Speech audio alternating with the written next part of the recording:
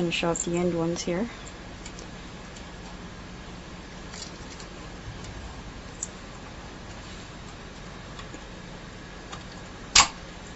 Okay, one more.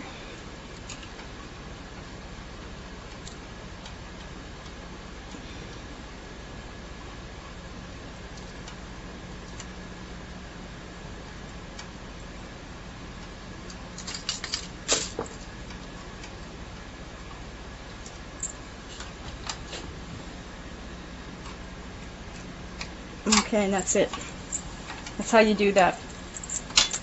Okay, I'll go back and do another stripe of pink.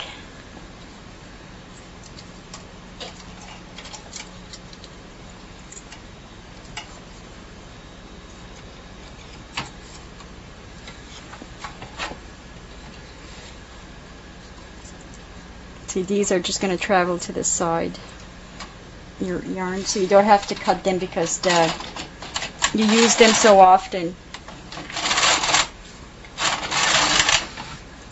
Okay, and again this is another hand manipulated row.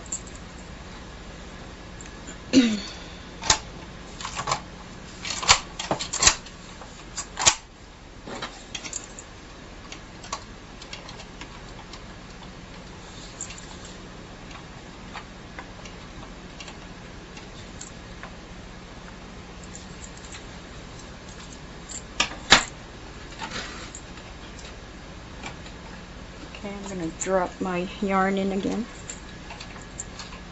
And you hand manipulate the stitches at the same places you did before. Go. This one here will be a long stitch. This will be four normal size stitches. This will be two normal size stitches. All these will be the long ones. So one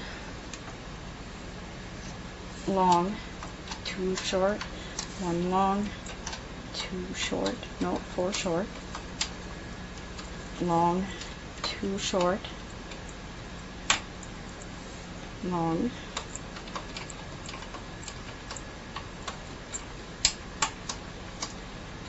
another long, four short,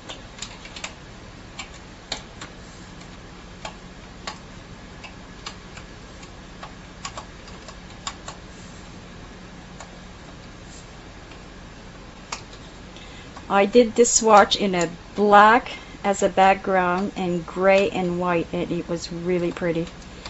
I think a sweater in that pattern is probably in order for me. In my future, I should say. okay, so that's it. Uh, you can probably see the a little better here that the stitches are longer in between here. See. Okay, well I'm going to do this a little bit more so I can get a good swatch to show you people what it looks like. And uh, I'll be back and show you the finished the finished uh, product on the right side. You can't really tell on this side what it's gonna look like but on the other side it's really pretty. Okay so I'll show you later. Okay I finished the swatch that I was working on and I bound off the top you would end with uh, knit four of the main color and your pattern would continue up the top. As in right here. And you can see it's all done there. It's a small scale so that would be good for a sweater or maybe scarf or a hat. Okay in the back all you're left with is these on the sides and you can just hide them into your uh, your seam. On these here. And it's a nice clean seam on the other side. So that's it for this one. That's all you have to do here.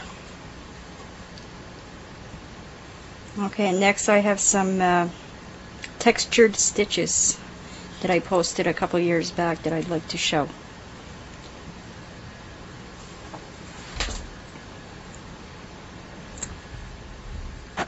Okay, these are just a few textured stitches that uh, I'd like to show. This one here, it's very much like a hand knit honeycomb stitch. I've already started it here. And what you do with this one is you um, you put every second stitch in forward non-working position. So I just had those in non-working position. I knitted across. Now I'm putting them back in position. Now I want to get the opposite stitches out in non-working position. And you have all these back in working position with the stitch on and the the rung that went over and it's a it makes a, a tuck stitch every second row makes a touch a tuck stitch so you just knit across okay and a booble right off the bat.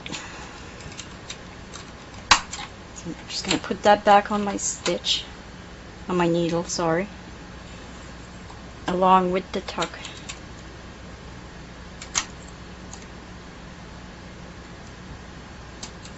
Um, and just hand knit it.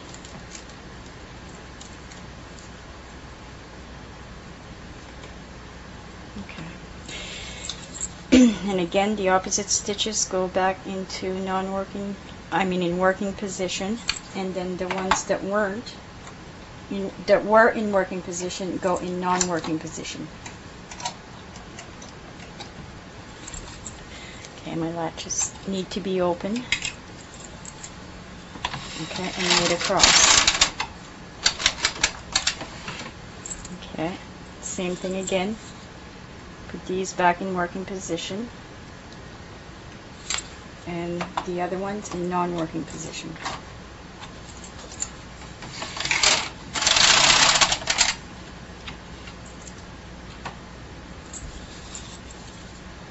Every row you have to uh, switch them around. Either even numbers are out or odd numbers are out.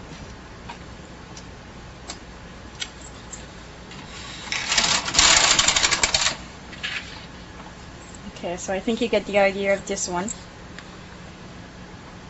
just going to push these back in, knit a few rows, and uh, show another one.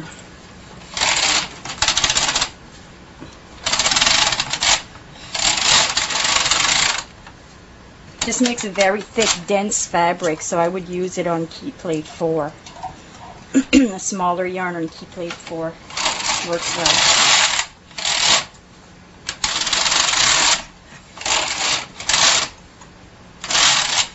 Okay, this next one is a variation of the of a fisherman rib. So I would knit a few rows. I'll just keep going a bit.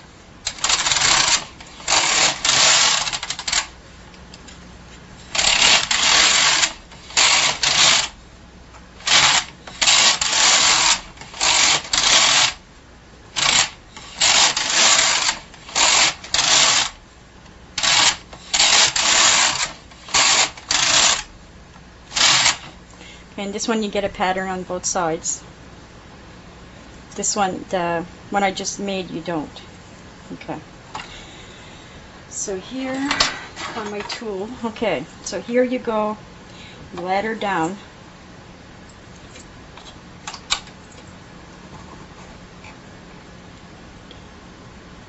Ladder back up as in a normal fisherman rib.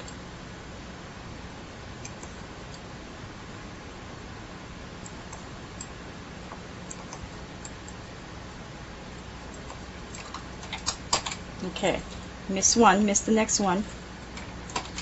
This one here, the next one, you start in the stitch above or the stitch below the one you just used.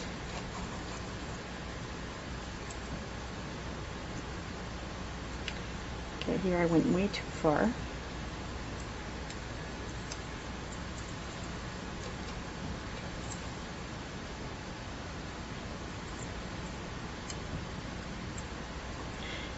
My mess here.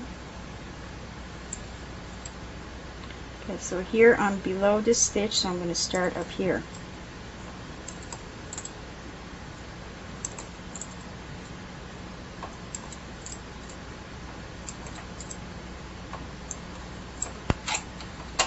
Okay, miss one. Next one started the same one this in the same row of stitches that you started the last one. Not the last one, but the first one.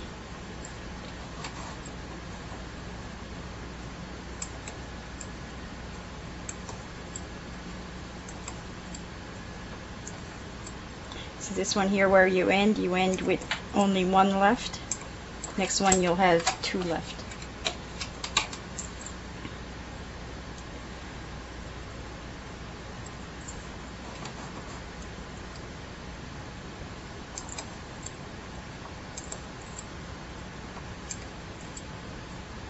This one shows a zigzag, zigzag line on the opposite side.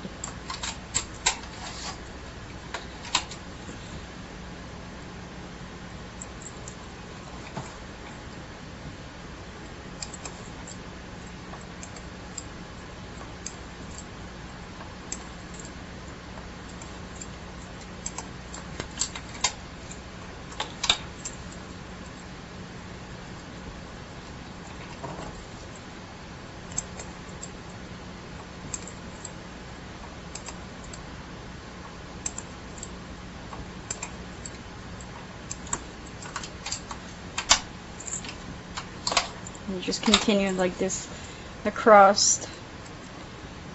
I made a shrug once in uh, in cotton with this pattern. It was very pretty.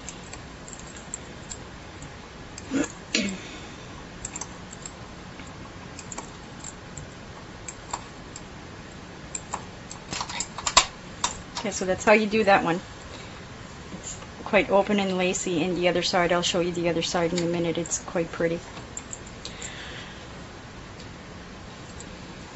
Okay another variation. I need a few more rows. I think I'll raise my hem here while I'm at it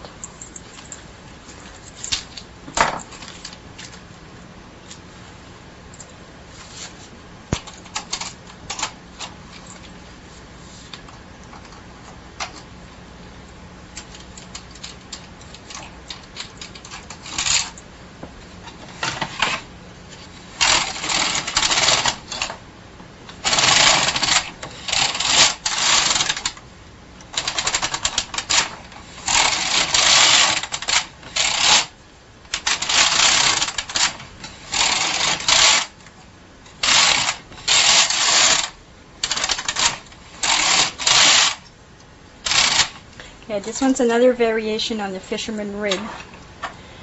You get a different pattern on both sides and it lays really, really flat. I'll start in the middle here. Go down two.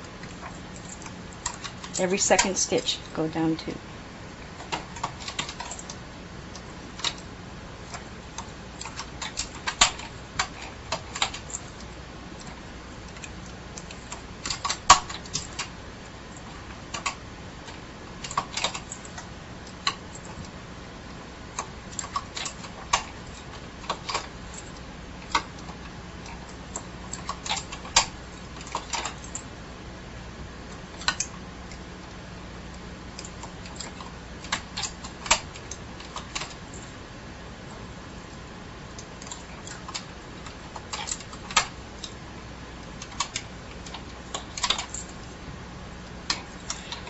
Trying to work and not get my elbow in the camera, but it's kind of impossible.